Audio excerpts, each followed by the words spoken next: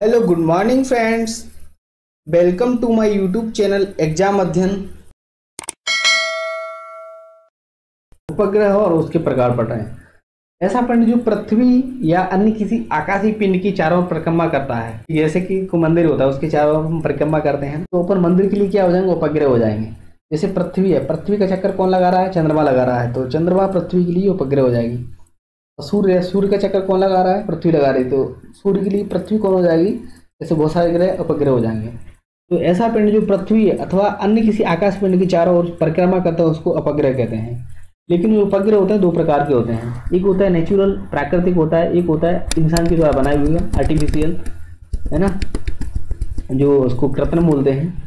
तो प्राकृतिक उपग्रह जैसे कि ऐसे प्राकृतिक आकाशीय पिंड जो ग्रहों के चारों ओर चक्कर लगाते हैं, प्राकृतिक उपग्रह जैसे एग्ज़ाम्पल दे दिया मैंने, चंद्रमा पृथ्वी का उपग्रह है, जैसे पृथ्वी दिखाई दे रही है, इसके चारों ओर कौन चक्कर लगा रहा है?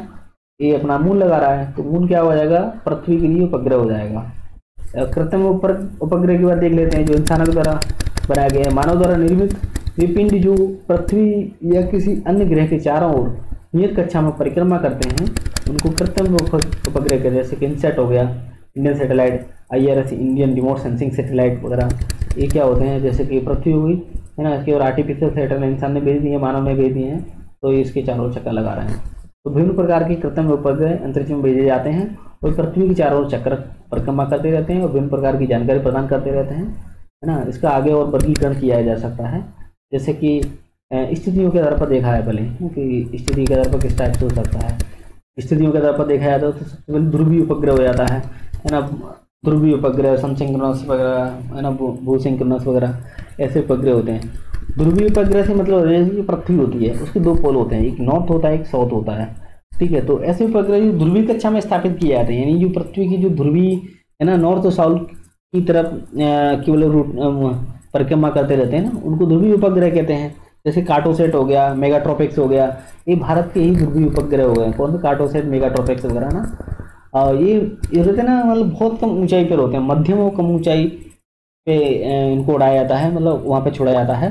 तो इनकी जो रेंज होती है 200 किलोमीटर से 1000 किलोमीटर तक ही रहती है। है ना? ये उपग्रह पृथ्वी की घूर्णन दिशा, यानी जो पृथ्वी की घूर्णन दिशा है ना ऐसे पश्चिम पूर्व दिशा में घूम रही पृथ्वी कैसे पश्चिम से पूर्व में घूम रही है। लेकिन इनका घूर्णन कैसा उत्तर से दक्षिण की दिशा में तभी आराम से ये कवर कर सकते हैं। ठीक है, हर एक एंगल को। इनका जो परिक्रमण काल होता है, लगभग नब्बे मिनट का होता है। यानी नब्बे मिनट में एक चक्का लगा लेते हैं ऑलमोस्ट डेढ़ घंटा में। तो चौबीस घंटा में बहुत बार चक्का लगा लेते हैं। तो ध्रुवी कक्षा में पृथ्वी की परिक्रमा करते हुए, अपने अक्ष पर घूर्णन करते हुए पृथ्वी के अलग अलग हिस्सों के चित्र एक ही पट्टी में बहुत बार रह सकते हैं आराम से। तो इसके बारे में उपयोग क्या हो सकता है कि मौसम के बारे में जानकारी और इसका पूर्वानुमान आराम से लगा सकते हैं कि एक डेढ़ घंटे में तो मौसम बदलने में टाइम लग ही जाता है। तो तब तक ये जानकारी दे देते हैं आराम से। जलवायु विज्ञान में, रेलवे स्टेशन के रूप में पृथ्वी के विभिन्न भागों सर्वेक्षण में इसमें होता है। दूसरा आता है सूर्य समकालित यानी सूर्य हो गया ना, उसके सूर्य से सिंक्रोनाइजेशन करते हुए जो उपग्रह होते हैं उनको सूर्य समकालीन उपग्रह कहते हैं। डेफिनेशन देख लेते हैं इसके। ये उपग्रह सूर्य समकालिक कक्षा में स्थापित किए, कर दिए जाते हैं। यह एक विशेष प्रकार की ध्रुवी कक्षा होती है, जिसमें स्थापित उपग्रह सूर्य के सापेक्ष प्रतिदिन अपनी कक्षा में निश्चित समय पर, निश्चित बिंदु पर ही होते हैं। अर्थात ये उपग्रह किसी निश्चित स्थान के ऊपर से निश्चित स्थानीय समय पर ही गुजरते हैं। इनका परिक्रमण काल परिक्रमण काल होता ना अठानवे से सौ मिनट का होता है। इसका आशय होता है कि ये उपग्रह पृथ्वी के किसी बिंदु का सर्वेक्षण प्रतिदिन किसी निश्चित समय पर ही करते हैं। ऐसे उपग्रहों का उपयोग वैज्ञानिक किसी विशेष समय में, विशेष समय के साथ होने वाले विभिन्न परिवर्तनों के तुलनात्मक अध्ययन में किया जाता है। जो डायग्राम है, इसमें दोनों चित्र दिखा दिए गए हैं। ये सनसिंक्रोनस और जियो स्टेशनरी होता है ना? जैसे ये जो जियो स्टेशनरी होता है जो पृथ्वी घूमन कर रही है, उसी डायरेक्शन में ये भी घूम घूम रहे हैं जियो स्टेशनरी और जो सन घूम रहा है उसकी डायरेक्शन में इसको घुमा दिया है। सन के सिंक्रोनाइजेशन में बिल्कुल ना किसको अपने सन सिंक्रोनस सेटेलाइट को। तो भू स्तर जो सेटेलाइट होते हैं, वही है कि चौबीस घंटे पृथ्वी चक्कर लगा रही तो ये उपग्रह भी चौबीस घंटे में अपना चक्कर लगा लेते हैं। ठीक है, पृथ्वी का अपने अच्छे के सापेक्ष घूर्णन काल चौबीस घंटे का होता है। तो यदि पृथ्वी का परिक्रम, परिभ्रमण काल है ना, वो चौबीस घंटे है तो इन सेटेलाइट का भी परिभ्रमण का, काल भी उतना ही रहता है। यानी कोई इंसान पृथ्वी पर खड़ा है या उस पर खड़ा है सेटेलाइट पर। दोनों इंसान एक दूसरे को देख रहे हैं तो उनको ऐसा प्रतीत नहीं होगा कि भाई कि हम घूम ही रहे हैं। उनको ये लगेगा हम एक ही जगह पर खड़े हुए हैं, क्योंकि पृथ्वी का घूर्णन काल और मेरा, ऐसे मान लो दो दो ट्रेन आएँगी ठीक है, दोनों ट्रेन एक ही डायरेक्शन में सेम स्पीड से जा रही हैं तो लगेगा ही नहीं कि ट्रेन चल भी नहीं है। ऐसा लगेगा भाई दोनों ट्रेन रखी हैं एक ही जगह पर तो उसी टाइप से एक जैसा स्तर प्रतीत होता है दोनों जगह पर, खड़ा हो गई व्यक्ति तो। इसलिए इस उपग्रह को भू स्तर उपग्रह या तुल्यांक उपग्रह कहते हैं। भू स्तर उपग्रह लगभग छत्तीस हज़ार किलोमीटर की ऊंचाई पर पृथ्वी से भेजे जाते हैं, ठीक है? और इनसेट थ्री ये उपग्रह भारत का भू स्थायी उपग्रह है। इसका उपयोग देख लेते हैं। ऊपरी वायुमंडल के अध्ययन के लिए, मौसम के बारे में पूर्व जानकारी प्राप्त करने के लिए, उनका पिंडों का अध्ययन करने के लिए रेडियो, टेलीविज़न, मोबाइल संचार में इसका उपयोग होता है। भू समकालिक जो उपग्रह होता है ऑलमोस्ट भू स्तर उपग्रह जैसा ही होता है, बस थोड़ा सा फ़र्क होता है। इसमें क्या है कि ये जो उपग्रह होते हैं, भू समकालिक में स्थापित कर दिए जाते हैं।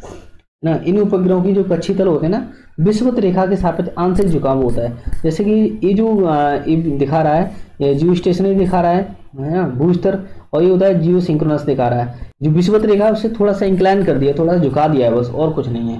यानी जियो स्टेशनरी तो बिल्कुल जैसे पत्ती घूम रहा है, ऐसे ये घूम रहा है, ये भी उसी टाइम घूम रहा है, लेकिन बस थोड़ा सा इसको इंक्लाइन कर दिया है, और कुछ नहीं है इसमें।